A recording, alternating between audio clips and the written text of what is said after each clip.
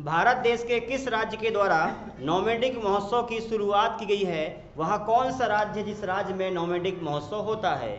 भारत देश में कौन से कौन से महोत्सव होते हैं? जैसे मैं कुछ क्वेश्चन पूछूँ। भारत महोत्सव की शुरुआत कब हुई थी? रंग महोत्सव कब हुआ था? और अमृत महोत्सव की शुरुआत कब हुई है? नोमेटिक महोत्सव ये समुदाय के द्वारा होता है। यह समुदाय के किस राज्य से संबंधित है और यह समुदाय का नाम क्या है? ठीक है ना? तो वन महोत्सव है, भारत महोत्सव है, मध्य प्रदेश महोत्सव है, रंग महोत्सव है, उत्तर पूर्वी महोत्सव है। इस प्रकार से हम लोग आज पढ़ने वाले आइए, समझते हैं हम लोग। बात आई है महोत्सव की तो यहाँ पर ये मध्य प्रदेश है। हम सबसे पहले पूरे महोत्सव एक साथ याद कर लेते हैं। उसके बाद पढ़ेंगे हम नोमेडिक महोत्सव। नोमेडिक महोत्सव की शुरुआत कहाँ पर हुई है? किस राज्य संबंधित है ये? नोमेडिक महोत्सव। तो सबसे पहले देखो 1950 का समय है 1950 में भारत देश में एक महोत्सव की शुरुआत हुई थी, उसका नाम था वन महोत्सव। वन महोत्सव को शुरुआत करने वाला व्यक्ति का नाम था के एम मुंशी, कन्हैयालाल मालनिक लाल मुंशी, के एम मुंशी बोलते हैं ना, ये था, वन महोत्सव 1950 उसके बाद उन्नीस सौ तिरपन का समय आया, और यहाँ लिखता हूँ मैं उन्नीस सौ बयासी, और ये था भारत महोत्सव। अब आप बोलोगे, सर, ये उन्नीस सौ बयासी, ठीक है, तिरपन क्या है? तो सुनो, भारत महोत्सव की शुरुआत उन्नीस में हुई थी, लेकिन हर साल मनाया जाने लगा उन्नीस सौ बयासी से। अर्थात, भारत महोत्सव उन्नीस में शुरुआत हुआ था, ये आपको ध्यान रखना पड़ेगा, ठीक है ना? तो भारत महोत्सव की शुरुआत उन्नीस उसके बाद में उन्नीस सौ निन्यानवे का समय है। उन्नीस सौ निन्यानवे में भारत देश में भारत रंग महोत्सव की शुरुआत हुई थी। भारत रंग महोत्सव क्वेश्चन आएगा। भारत रंग महोत्सव की शुरुआत कब हुई है? और साथों साथ में आप और याद कर लेना, उन्नीस, सन 2021 का समय आया। 2021 में भारत देश की सरकार के द्वारा पचहत्तरवीं आज़ादी का वर्ष मनाया हमने। उसको नाम दिया अमृत महोत्सव। अमृत महोत्सव की शुरुआत कब हुई? 2021 में हुई है। भारत देश आज़ाद हुआ, पचहत्तरवीं साल ग्रह हमने मनाई है आज़ादी की तो पचहत्तरवें जो आज़ाद हुआ है भारत, पचहत्तर साल होने के अवसर पर अमृत महोत्सव की शुरुआत 2000 जो है इक्कीस में हुई।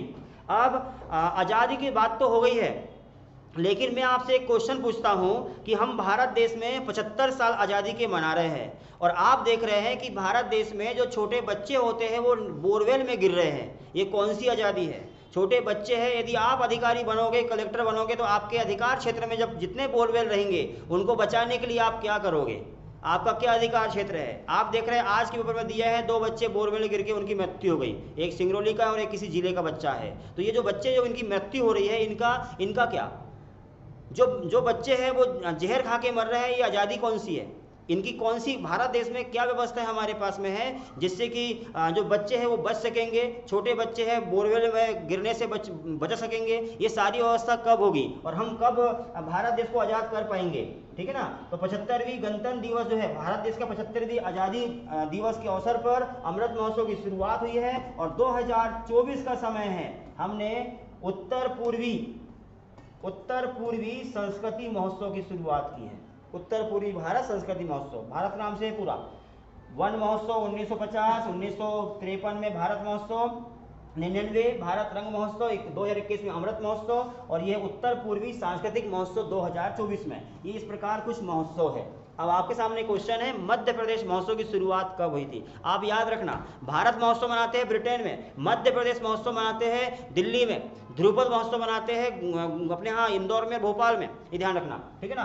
तो अब हम वापस आते हैं नोमेडिक महोत्सव की ओर। याद रखना आपको कि नोमेडिक महोत्सव क्या होता है और इसकी शुरुआत किस प्रकार हुई है, किस समुदाय के द्वारा नोमेडिक महोत्सव मनाया जाता है, यहाँ देखना इतना बड़ा पूरा का पूरा ये जम्मू कश्मीर हुआ करता था। जम्मू कश्मीर को दो भागों में बांट दिया गया। एक हो गया जम्मू कश्मीर, दूसरा हो गया यहाँ पर लद्दाख। तो इनका निर्माण कब हुआ, आप सबको पता है। पाँच अगस्त 2019 को भारत देश में जम्मू कश्मीर लद्दाख का अलग अलग निर्माण हुआ है। जम्मू कश्मीर लद्दाख अलग 2019 में हुए हैं पाँच अगस्त को।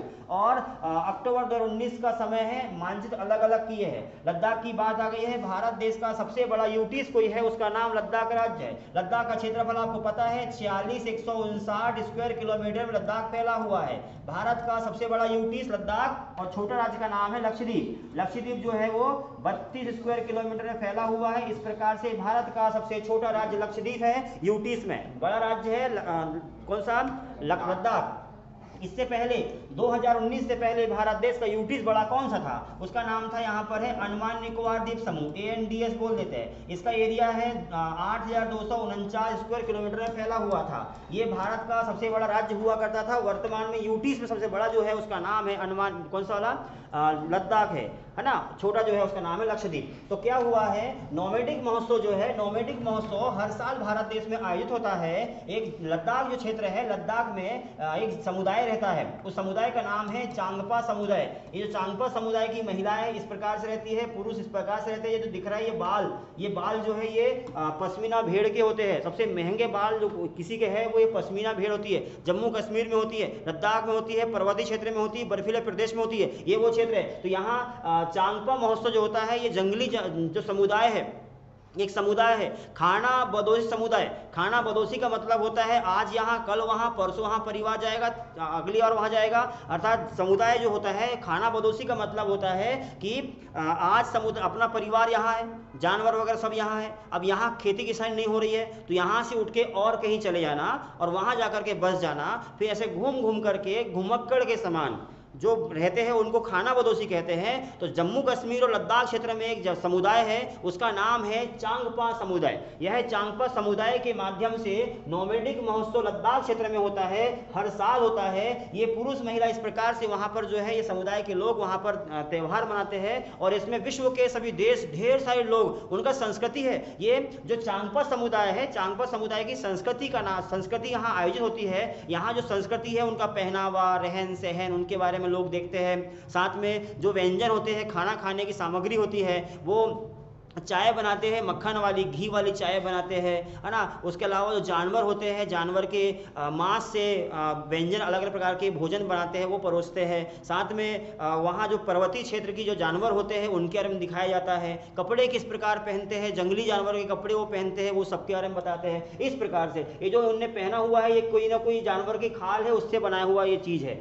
ये खाल के बने हुए कपड़े हैं। इस प्रकार से ये चांगपा समुदाय के लोग हैं। तो क्वेश्चन यहाँ से था कि चांगपा समुदाय का संबंध किस राज्य से है? तो लद्दाख क्षेत्र से है, हर साल, नहीं नोमेडिक महोत्सव का संबंध किस क्षेत्र से है? तो आंसर आएगा लद्दाख से। नोमेडिक महोत्सव हर साल होता है और चांगपा समुदाय के द्वारा होता है। चांगपा एक खाना बदोशी समुदाय के लोग हैं। कुछ कुछ इस प्रकार से बनेगा। इनकी संस्कृति के बारे में, इनके प्रचार प्रसार के बारे में, ये सब दिखाने के लिए ही महोत्सव होता है। इसी महोत्सव का नाम है कौन सा? नोमेडिक महोत्सव। ठीक है ना? तो पश्मीना भेड़ पर्वती भालू, पर्वती भेड़, पर्वती जो बाघ है है ना?